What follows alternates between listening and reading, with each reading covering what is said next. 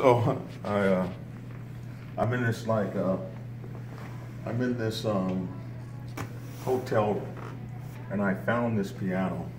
Like I'm so, like I'm so out of practice, but um, I just, you know, I used to do this when I was a kid. It was a lot of fun, and I was um, trying to um, figure out. But you know, you hate to do this because you're like so out of practice.